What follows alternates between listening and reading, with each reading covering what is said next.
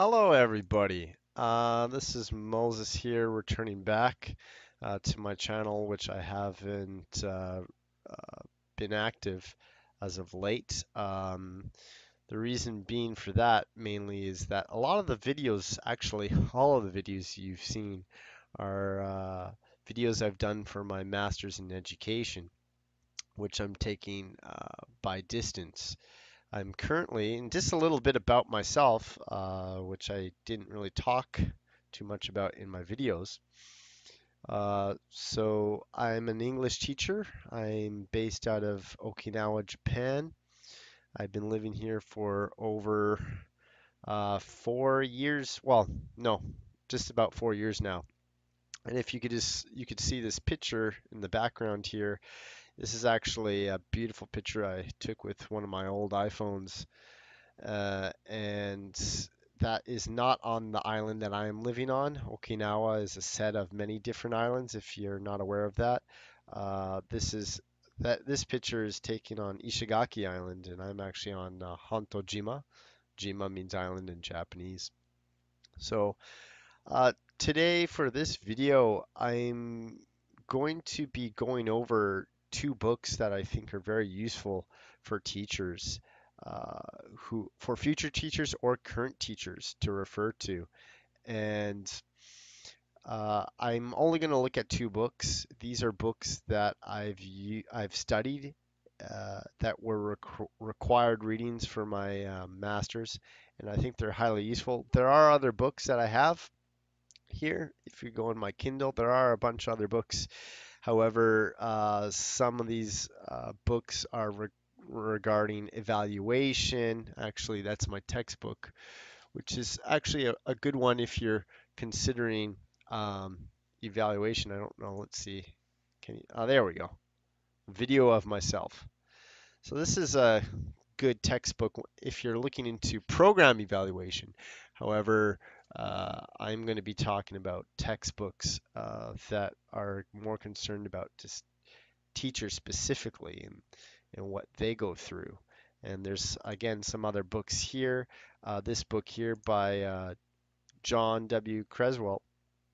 Uh, this book is very good for individuals who are going into research, right? Uh, individuals doing their masters as well as their PhDs. It goes step by step explaining qualitative and quantitative as well as mixed methods and how to conduct and how to conduct them.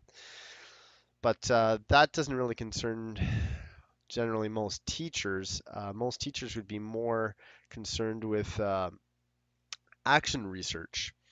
And this is a really good book. Uh, I highly recommend it um, for teachers who are interested in doing some of their own research, but doing research not doing research for their own gain.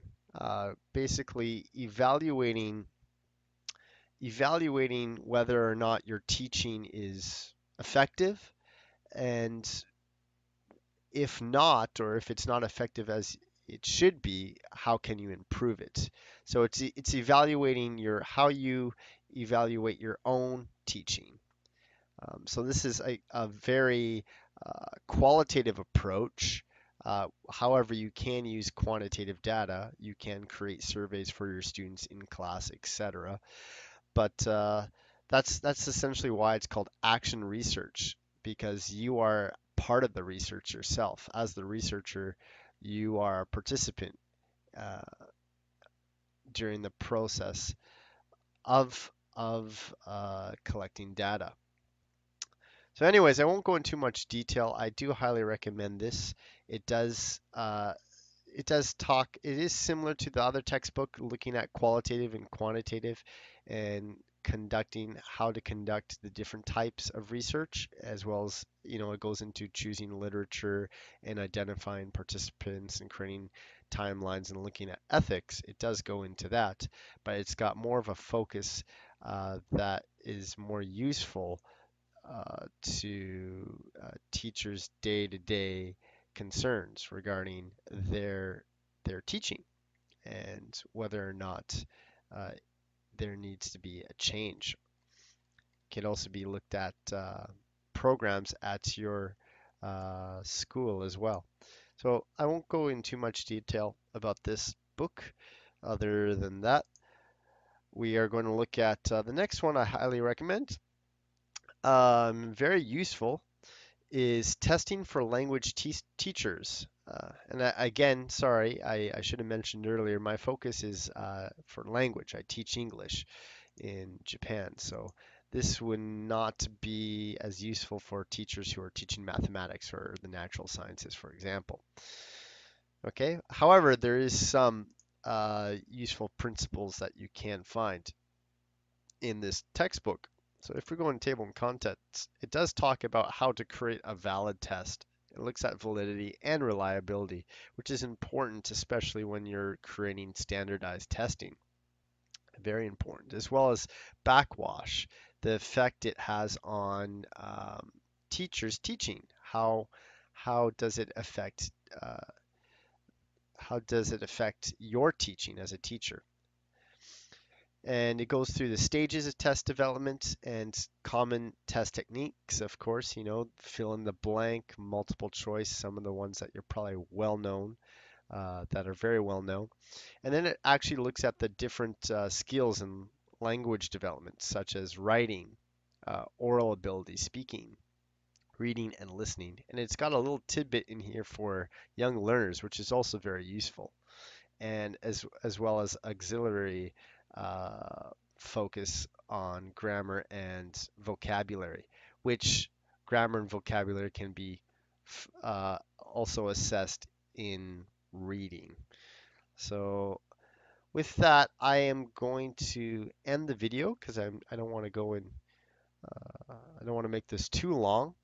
But uh, thank you for watching, and I also, if for those who are interested, I will be starting another channel about life in Okinawa as well as uh, in Japan.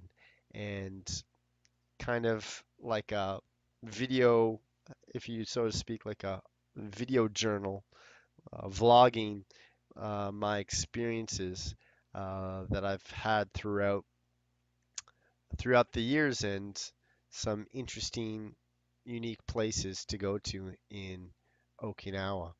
So with that, I say thank you and talk to you later. Thank you. Bye bye. Don't forget to subscribe if need be. Thanks.